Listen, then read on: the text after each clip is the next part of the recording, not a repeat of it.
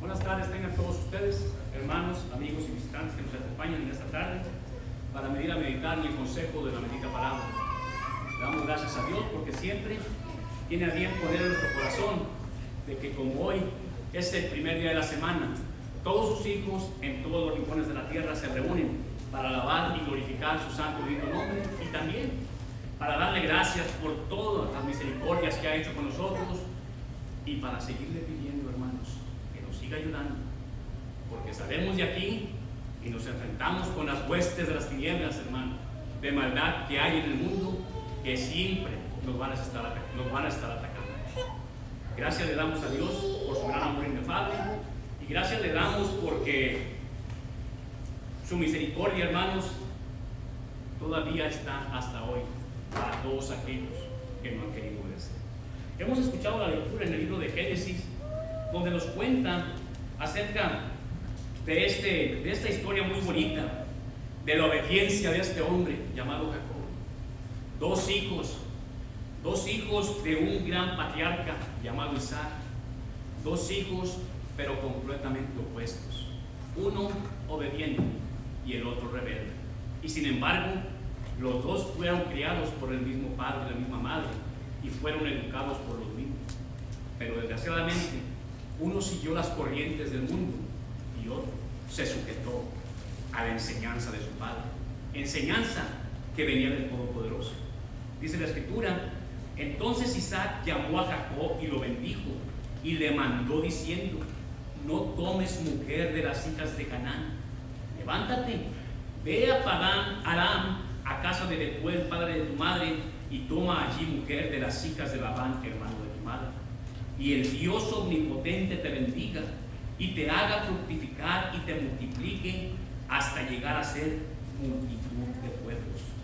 Y te dé la bendición de Abraham y a tu descendencia contigo para que heredes la tierra en que moras, que Dios dio a Abraham.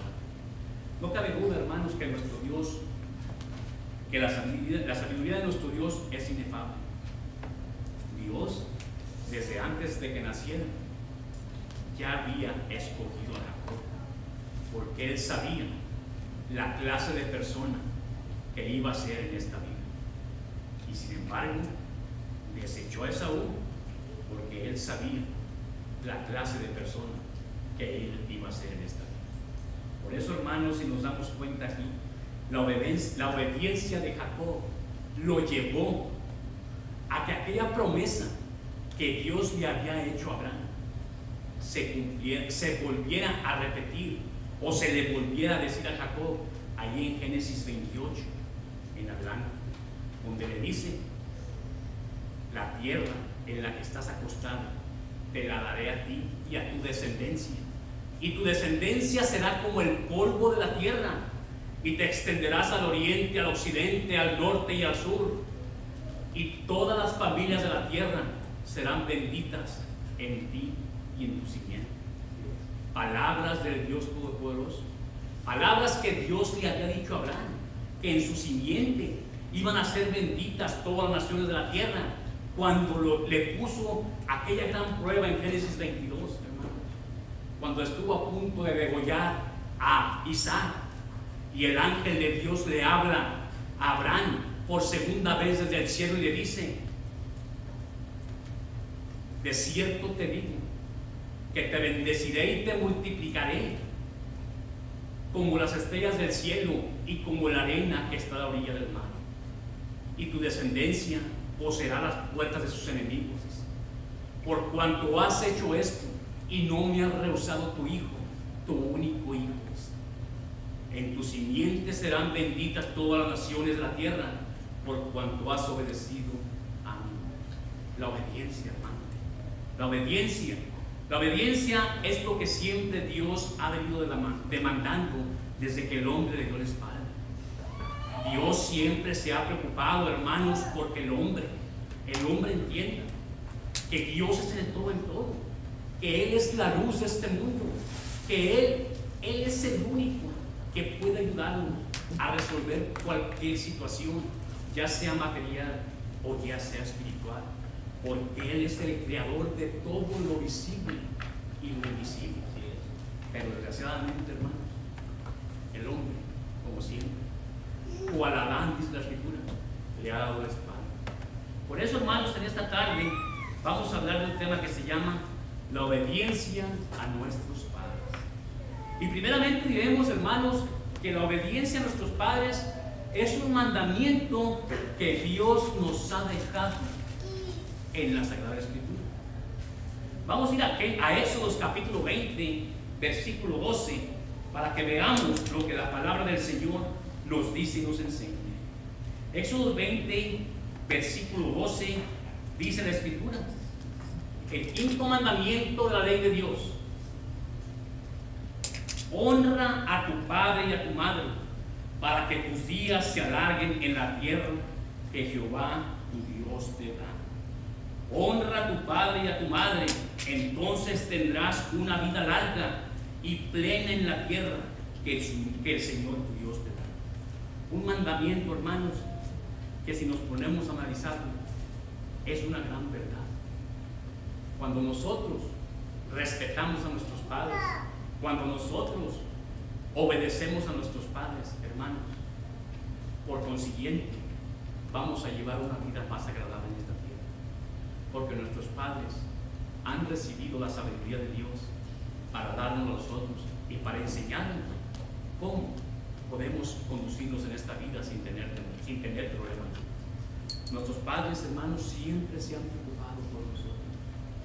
Muchos de nosotros en la niñez, quizás en la adolescencia, no entendíamos la reprensión, no entendíamos la disciplina que Él nos daba.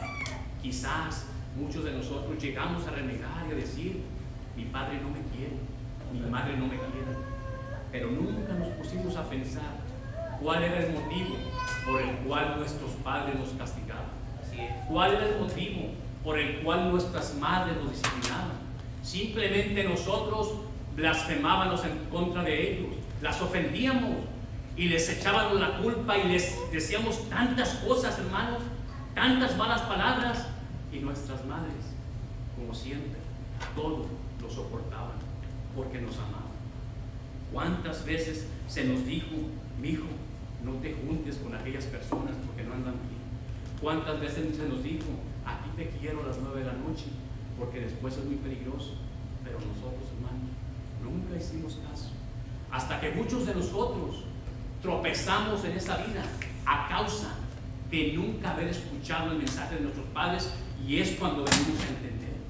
Muchos quizás ya de mayores, muchos quizás ya cuando venimos a los pies del Señor, que Dios nos ha abierto el entendimiento y nos hemos dado cuenta que el único mal que nuestros padres nos hicieron fue mal es tratar de hacernos llevar una vida, una vida agradable en esta tierra, Pero muchos los ofendimos. Muchos quizás los golpeamos. Muchos, muchos dejamos de hablarles. Es más, muchos nos venimos a este país y nunca fuimos buenos para pedirles perdón. Quizás muchos de nuestros padres ya murieron y el perdón, de, el perdón nunca se los pedimos. ¿Por qué? Por ese orgullo, hermanos. Por esa soberbia, por esa ignorancia que hay en nosotros. Que pensamos que todo lo podemos nosotros hacer sin su ayuda pero nos hemos dado cuenta muchos que hemos fracasado, que muchos nos hemos caído y que ahora realmente quisiéramos que nuestro Padre estuviera aquí caminando con nosotros, así como camina el Todopoderoso, que Él, que Él ha tenido misericordia y ahora Él nos ha adoptado como sus hijos para enseñarnos aquellos caminos que algún día nosotros rechazamos, que nos quisieron enseñar nuestros padres. Aquellas cosas hermosas que nuestros padres nos decían, que ahora tenemos que hacerlas. Porque si realmente amamos a Dios, tenemos que obedecer. Por eso es muy importante, hermanos, la obediencia hacia nuestros padres, para que vivamos. Es un mandamiento que Dios nos ha dado para que vivamos más tiempo aquí en la tierra, para que nos vaya bien, para que seamos bendición, para que donde quiera que vayamos se note que el nombre de Dios está en cada uno de nosotros y que somos capaces de ser luz para aquellos que viven en tinieblas. En Efesios capítulo 6, versículo de 1 a 3, la palabra del Señor nos dice y nos enseña.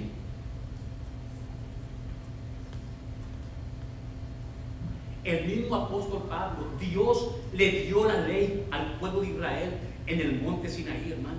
Ahora, el Espíritu Santo, Dios en otra, en otra personalidad, está hablando por el apóstol Pablo las mismas palabras que fueron dadas a su pueblo de Israel. Un pueblo que nunca se preocupó. Hay que entender que Jesucristo decía, Jerusalén, Jerusalén, que matas a los profetas y apedreas a los que te son enviados.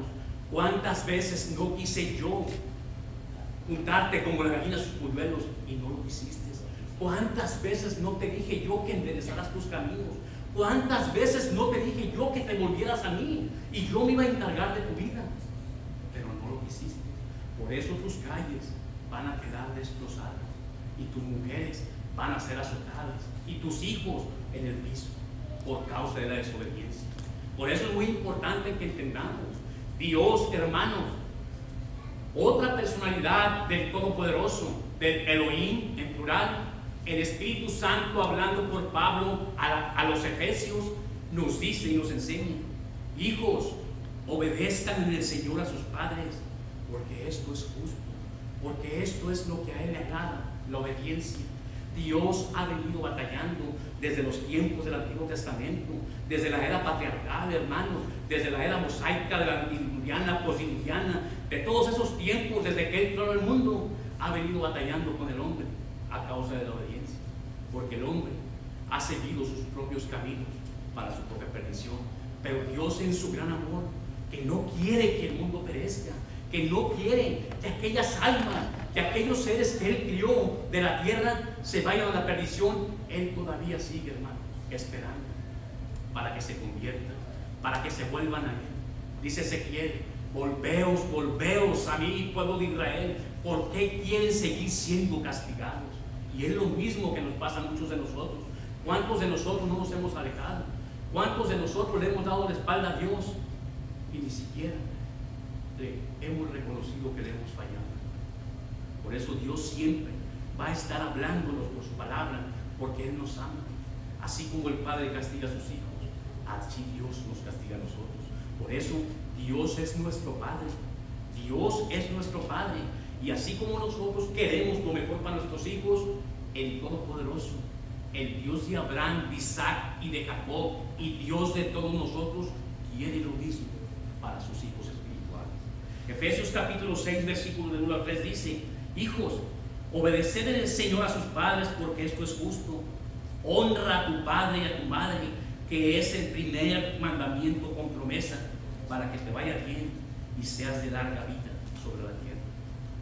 Palabras de Dios, que nosotros ahora, quizás que ya estamos mayores, quizás que nuestros padres están mayores, todavía no las dicen. Mi hijo, pórtate bien. Mi hijo, acuérdate que estás en un país que no es el tuyo. Acuérdate que no estás con tu gente. Cuídate, protege. ¿Qué es lo que hacen nuestros padres y nuestras madres por nosotros? Derramando lágrimas al Creador porque no saben cómo andan sus hijos, hermano. Por eso es muy importante que entendamos que tenemos, si tenemos a nuestros padres todavía o nuestras madres, hermanos, y si les hemos fallado, volvamos a ellas, pidámosles perdón y escuchemos los consejos, porque los consejos de los ancianos, hermanos, son sabiduría para nosotros. Por algo Dios los ha dejado vivir tantos años. Ellos ya caminaron esos caminos que nosotros llevamos. Claro, fueron caminos muy diferentes, pero también fueron escabrosos. Fueron caminos que también tuvieron piedras, tuvieron problemas, tuvieron espinas, también se quemaron, tuvieron tantas y tantas cosas en su vida que nos pueden servir a nosotros de experiencia para, para que la apliquemos a nuestra vida y así podamos, Señor, podamos, hermanos, ser más sobrios en este camino de esta vida. Pero también el Proverbio capítulo 5, versículos 1 y 2, dice la palabra del Señor. Proverbios 5, 1 y 2 dice la palabra del Señor. Palabras del predicador, palabras de Salomón, el hijo amado de David, el hijo de Betsabé, palabras inspiradas por el Todopoderoso. Fíjense lo que dice, hijo mío, pon atención, está atento a mi sabiduría y a mi inteligencia, inclina tu para que guardes consejo y tus labios conserven el conocimiento. Hermanos, el temor a Jehová es el principio de la sabiduría. Y el apartarse del mal es la inteligencia. Tenemos la sabiduría. Tenemos la palabra. La palabra del Todopoderoso. La palabra que nos va a llevar a triunfar en esta vida si nosotros le ponemos atención y nos conducimos tal y como Dios lo manda. Dios, hermanos, es un Dios de amor, pero también es fuego consumidor. A Él le gusta que las cosas se hagan como Él dice, no como nosotros pensemos. No, no le gustan a Él medias tazas. Oye, no, hermano. Tenemos tantos ejemplos en la palabra del Señor de hombres que quisieron hacer las cosas a su modo y recibieron, recibieron el castigo de Dios, recibieron las consecuencias a causa de no haber hecho las cosas que Dios les había mandado. Pero es un mandamiento que Dios nos ha dado, porque esto, hermanos, le agrada a Dios. La obediencia hacia nuestros padres le agrada a nuestro Dios, porque es como si estuviéramos obedeciendo a Dios. Cuando nuestros hijos, cuando nuestros padres nos disciplinaban, ellos eran como dioses para nosotros. ¿Cuántas veces no veníamos nosotros a ellos y nos abrazábamos a ellos para que nos protegieran y nos ayudaran en cualquier necesidad, en cualquier problema? Cuando nos corrían de la escuela, cuando nos peleábamos en la plaza, cuando aquellas personas, aquellos grupitos nos querían golpear, luego, luego íbamos con el padre. ¿Y el padre qué hacía? Iba a la casa de los padres de los muchachos a poner la queja. Dios Todopoderoso, con nosotros hermanos, nos protege, nos cuida, nos ayuda, nos dice, siempre nos está previniendo para que nosotros no vayamos a tropezar como lo hacíamos en el mundo a causa de nuestra negligencia. Colosenses capítulo 3, versículo 20, dice la palabra del Señor.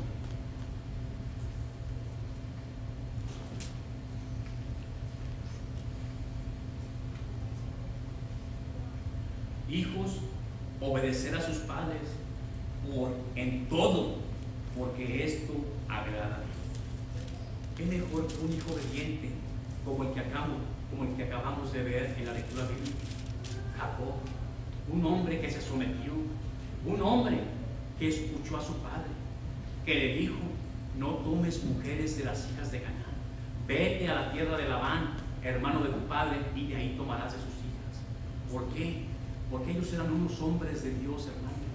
La ley de Dios caminaba con ellos, y ellos sabían que los cananeos, descendientes de Can, eran gentes paganas, eran gentes que idólatras, eran gentes que no tenían temor de Dios. Por eso Abraham le dijo lo mismo a Eliezer en Génesis capítulo 24. Vete a la tierra de mis padres a buscarle mujer a mi hijo.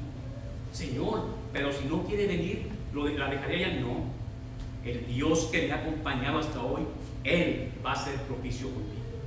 Todos sabemos que fue por Rebeca, la hija de Betuel, y se la trajo a quien? A Isaac hombres de Dios que no escatimaron precios a su vida, hermanos, que no le fallaron al todo, obedecían a Dios en todo, no las alianzas con aquellas naciones de las cuales yo voy a echar delante de ti, porque por eso las echo, porque son paganas, porque no hay temor a Dios en ellas, son idólatras.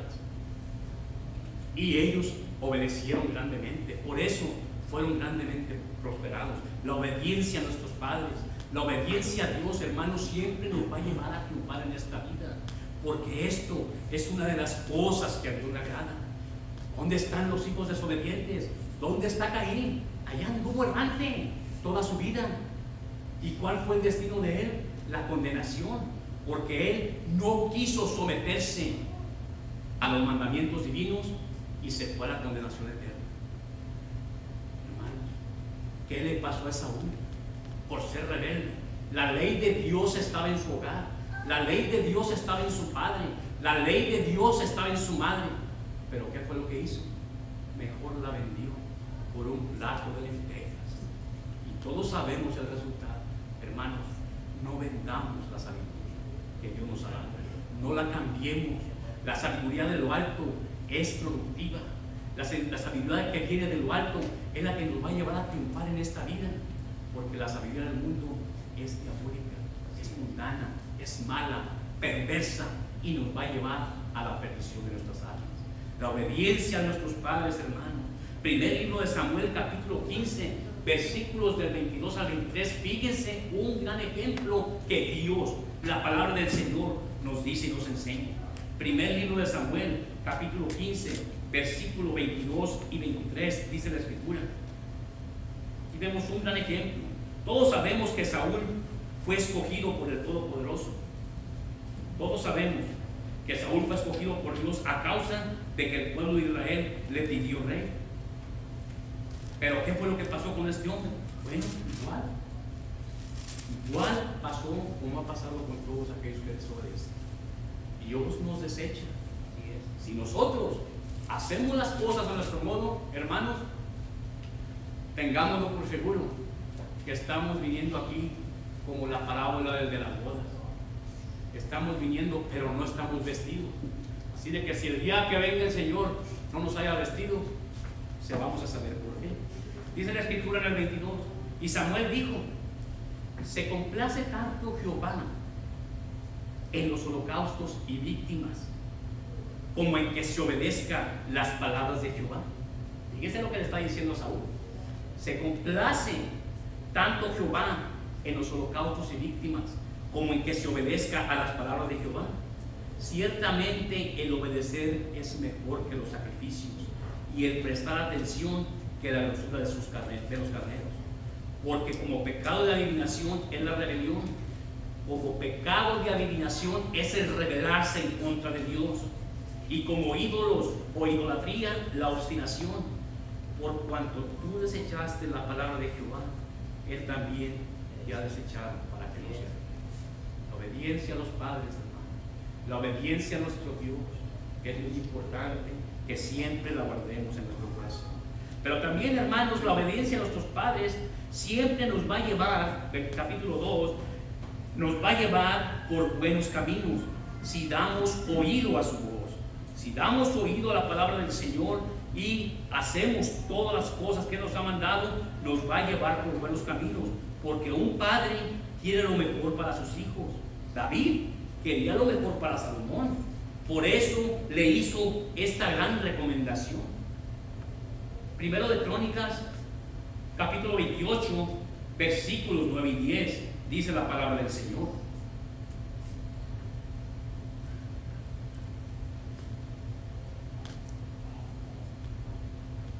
Y tú, Salomón, hijo mío, reconoce al Dios de tu Padre y sírvele con corazón perfecto y con ánimo voluntario. Porque Jehová escudriña los corazones de todos y entiende todo intento de los pensamientos. Si tú le buscares, lo hallarás. Mas si lo dejares, Él te desechará para siempre. Mira, pues, ahora que Jehová te ha elegido para que edifiques casa para el santuario, esfuérzate y haz. Miren, que Jehová nos ha elegido como morada para su Espíritu Santo. Esforcémonos para que Dios Todopoderoso sea alabado y glorificado en cada uno de los que estamos haciendo. Porque eso es lo que Dios quiere. Si nuestros padres querían lo mejor para nosotros, Dios quiere cosas mucho mejores para nosotros. Porque eso es la voluntad de Dios. Que todo lo que hagamos sea para, dar gloria y honra a su nombre. Siempre nos va a llevar por buenos caminos, hermanos, la obediencia a nuestros padres, porque Así también Dios quiso siempre lo mejor para su pueblo Israel. Pero su pueblo Israel siempre dio la espalda. Éxodo 19, 5 y 6 dice la palabra del Señor.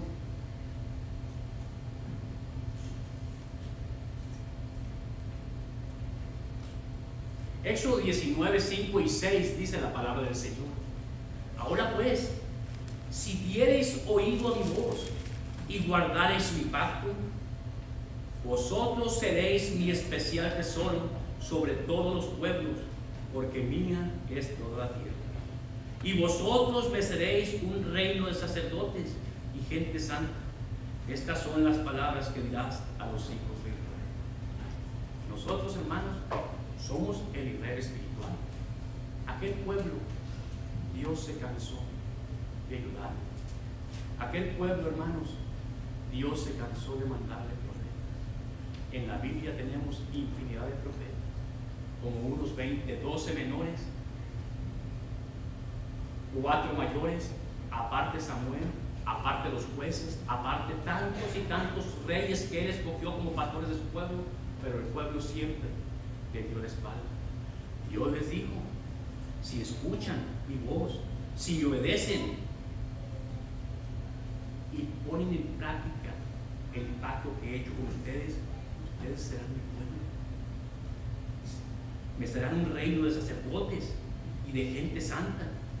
Estas son las palabras que les dirás a los hijos de Israel. Pero el pueblo de Israel dice al Señor, no me escuchó. No me escuchó. Y vamos a ir al Salmo 81.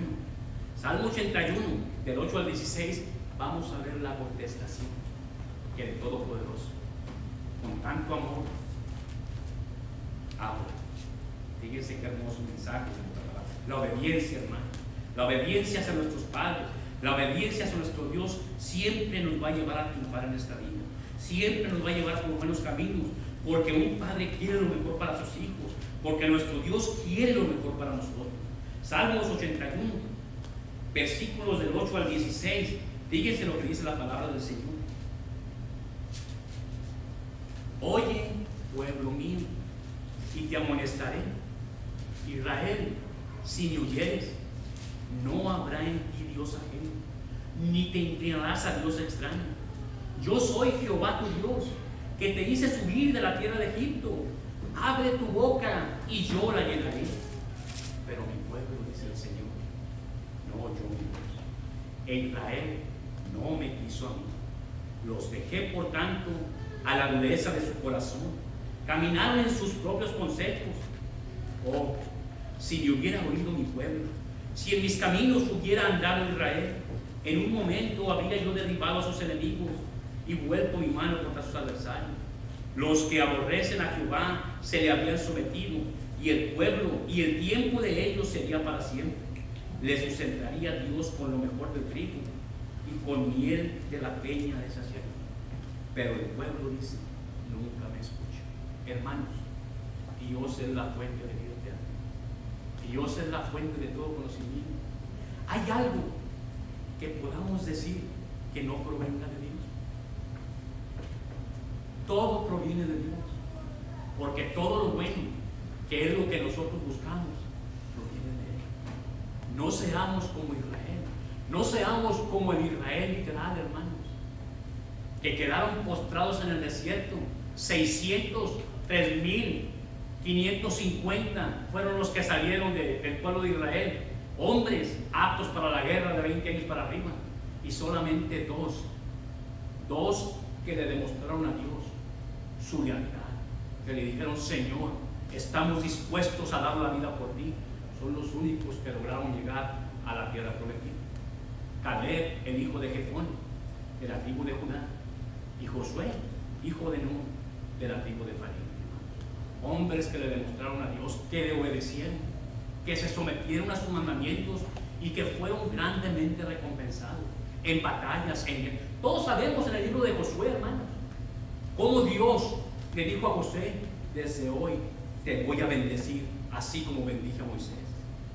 Cuando tumbó los muros de Jericó, cuando abrió el río Jordán, cuando destruyó a aquellos reyes cananeos, aquellos reyes amorreos, Dios estaba con él. ¿Por qué? Porque Josué había decidido obedecer la ley del Todopoderoso. En Josué capítulo 1, versículos del 7 al 9, dice la palabra del Señor.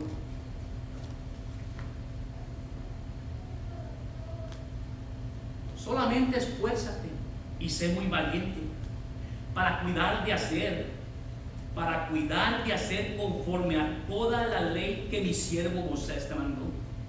No te apartes de ella, ni a diestra ni a siniestra, para que seas prosperado en todas las cosas que emprendas. Nunca se apartará de tu boca este libro de la ley, sino que de día y de noche meditarás en él para que guardes y hagas conforme a todo lo que en él está escrito, porque entonces harás prosperar tus caminos y todo te saldrá bien. Mira que te mando que te esfuerces y seas valiente. No temas ni desmayes, porque Jehová tu Dios estará contigo en donde quiera que vayas. La obediencia a nuestros padres, la obediencia a nuestro Dios nos va a llevar a triunfar, hermanos. Nos va a llevar siempre por buenos caminos si nosotros, si nosotros nos sometemos al Todopoderoso. Jeremías capítulo 4, versículos del 1 al 2, dice la palabra del Señor.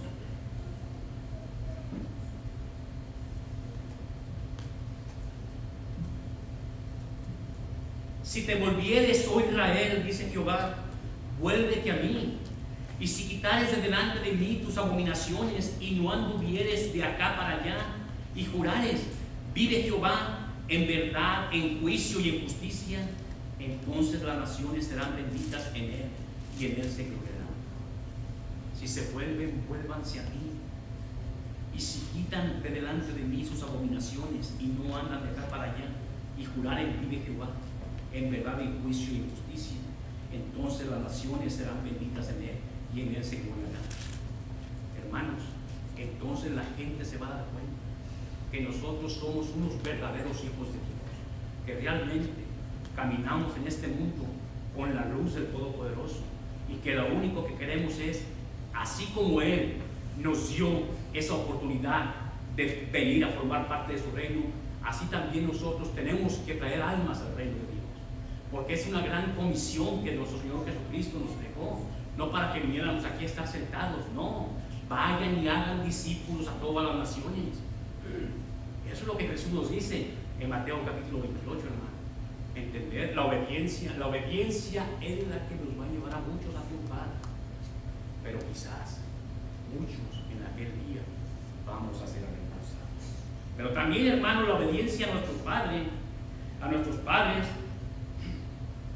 Dice, es un mandamiento que Dios nos ha dado y vamos a ser grandemente bendecidos. Porque su sabiduría nos va a llevar a triunfar. Fíjense, Dios hablando desde los tiempos de Jeremías. Estamos hablando más o menos, hermanos, de unos 509, fue cuando fue de deportación a Babilonia, más o menos como unos 550 años antes del nacimiento de Dios y ya Dios, fíjense lo que nos estaba diciendo por su palabra. Jeremías capítulo 6, versículo 16, vean lo que dice el Señor. Por eso es muy importante que obedezcamos a nuestros padres. Por eso es muy importante que pongamos atención a lo que ellos nos dicen y nos quieren enseñar para que nosotros lo pongamos en práctica. Fíjense lo que dice el Señor en el 16. He aquí, Jeremías 6, 16. Dice aquí la palabra de Dios. Así dijo Jehová, fíjense, párense en los caminos, paraos en los caminos y miren y pregunten por las sendas antiguas. Párense y pregunten a la gente cómo fueron aquellos tiempos, cuál sea el buen camino caminen por y hallarán descanso para su alma. hubo un rey, un rey de Judá, descendiente de David, nieto de David, llamado Roboam, hermanos, al cual le fue quitado. Fue cuando Dios decidió dividir los reinos. Le, quitó las once tribus al Reino Unido y fue cuando se separaron el reino del norte y el reino del sur. ¿Saben por qué? Porque Roboam no le quiso hacer caso a los ancianos, a la gente mayor. Él mejor siguió el consejo de sus amistades, de sus amigos, de aquellos que crecieron con él. Y eso fue su perdición y la perdición y la división del reino de Israel, hermanos, del reino, del reino unido. Por eso Dios aquí dice, paraos en los caminos y miren, pregunten por las sendas antiguas cuál sea el buen camino. Vayan y pregunten qué es lo mejor que podemos hacer para nosotros conducirnos por él para que ya no estemos tropezando en esta vida. Pero no, a veces nuestro orgullo, a veces nuestra soberbia, hermanos, porque no queremos someternos a nadie, nos llevan a nuestra propia perdición y nos llevan a cometer fracasos en esta vida. Somos tan duros de servicio, como dice el Señor, que no queremos entender hasta cuando ya tenemos el agua en el cuello. Es cuando entonces ya reconocemos, pero pues ya para qué. Tantas veces que te estuvo hablando el Señor por medio de su palabra, para que no te pasara eso, para que te enderezaras y no quisiste.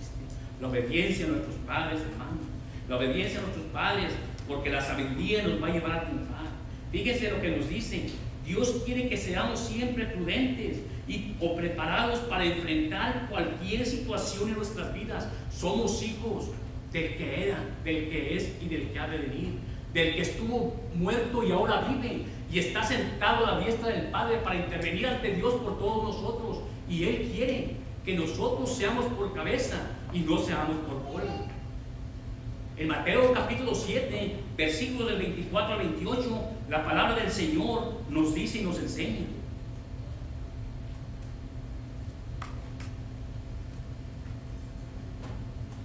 Cualquiera pues que escucha estas palabras y las pone en práctica y las hace y las obedece, lo compararé a un hombre prudente, a un hombre listo, a un hombre muy listo, que edificó su casa sobre la roca. Descendió lluvia y vinieron ríos y soplaron vientos y golpearon contra aquella casa y no cayó porque estaba fundada sobre la roca. Aquel hombre que escuchó la palabra y la puso en práctica, vinieron problemas, vinieron aflicciones, vinieron enfermedades, pruebas, cualquier tipo de aflicción en esta vida, no lo pudo mover. ¿Por qué? Porque como dice el Salmo 23, Jehová es mi pastor, nada me faltará. Así es, hermanos. Tenemos que entender que eso es lo que Dios quiere de nosotros. Que pongamos nuestra fe en Él, que le obedezcamos, que entendamos que lo único que Él quiere es que llevemos una vida agradable y que nos vaya bien, que no tengamos problemas que como hijos de Él vivamos una vida agradable en comunión, como dice el Salmo 133, hermano, que nos amemos unos a otros como Él nos ha amado. Por eso es muy importante que entendamos estos mensajes, hermano. Es grande el amor de Dios para nosotros, la obediencia, la obediencia siempre tiene que estar a nuestro Dios. Noé obedeció, Abraham obedeció. ¿Por qué creen se le llamó el padre de la fe? ¿Por qué? Porque él obedeció a aquella voz que le decía, Salte de tu tierra, vete de tu tierra y de tu parentela y de la casa de tu padre a la tierra que yo te mostraré. Y haré de ti una nación grande y te bendeciré y serás bendición. Engrandeceré tu nombre y en tu simiente serán benditas todas las naciones de la tierra. ¿Y qué hizo Abraham? Dice la escritura. Y Abraham se fue como Jehová le dijo y Lot salió con él. Y era Abraham de 75 años cuando salió de Adán. Y tomó a Sarai su mujer y a Lot el hijo de su hermano y todos los bienes que habían ganado y las personas que habían adquirido Arán y para tierra de Canaán se fueron y a tierra de Canaán llegaron. Porque fue un hombre que le obedeció a nuestro Dios. Porque no fue un hombre que realmente le demostró. En la prueba, hermanos, en Génesis 22, ¿qué fue lo que pasó? Todos lo sabemos. No le negó a su hijo, porque él sabía, así como dijo Juan, que hasta Dios podía sacar hijos hasta de las piedras. Y Dios nos demostró en aquella prueba de Aarón, cuando convirtió aquella vara en una víbora. Dios es el poderoso, es el que en un abrir y cerrar de ojos puede cambiar esta creación, hermano. Y Él quiere cambiar nuestro corazón. El profeta Jeremías decía, quitad el prepucio de su corazón, quiten esa dureza, acepten el mensaje divino, para que les vaya bien en esta tierra, obedezcan al Todopoderoso y van a ser de gran bendición. Dice también la Escritura, pero cualquiera que le oye estas palabras y no las hace, le compararé a un hombre insensato. Nosotros le llamamos necio, terco, cabezón, cabeza hueca. Dice, que edificó su casa sobre la arena y descendió lluvia y vinieron ríos y soplaron vientos y dieron por ímpetu contra aquella casa y cayó y fue grande su ruina. ¿Por qué edificó su casa en esa, en? ¿Por qué edificó su casa en la arena? Porque no quiso escarbar porque no quiso batallar para formar esos cimientos en nuestro Señor Jesucristo. Muchos de nosotros no queremos batallar, hermano. Nos viene la aflicción y mejor nos apartamos. Los caminos de Dios están, tienen que estar bien, bien cimentados por nosotros mismos. Tenemos que ir cavando, tenemos que ir limpiando esos caminos para seguir poniendo fundamentos sobre él y que Dios nos dé la fuerza y la fortaleza para que nadie nos mueva. La obediencia a Dios, la obediencia a nuestros padres, es lo que debemos nosotros siempre de guardar nuestros corazones, hermanos. Por eso es muy importante que entendamos que nada está oculto delante de nuestro Dios. En aquel día, hasta la sangre de Abel va a salir a reducir que fue regada por la tierra. Seamos prudentes, seamos honestos con nosotros mismos. Si hay algún hermano que le ha fallado a nuestro Dios, hermano, hoy es el día de arreglar cuentas con Dios. Si tus pecados fueren como la grana, como la nieve serán emblanquecidos. Y si fueren rojos como el carmesí, vendrán a ser como blanca lana. Hoy hemos hablado de un tema que se llamó la obediencia a nuestro Dios. Y hablamos que la obediencia a nuestro Dios es un mandamiento que Dios nos ha dado. Hablamos que la obediencia a nuestro Dios siempre nos va a llevar por buenos caminos si le obedecemos. Y hablamos que la obediencia a nuestro Dios nos va a hacer de gran bendición. Si hay alguien que quiere someterse a Dios, hoy es el día. Hoy es el día de salvación. Y si hay alguien que quiera dar cuentas, también hermano. Hoy es el día de salvación. Los invito a que estemos de pie para ir a un himno de oración. A un himno.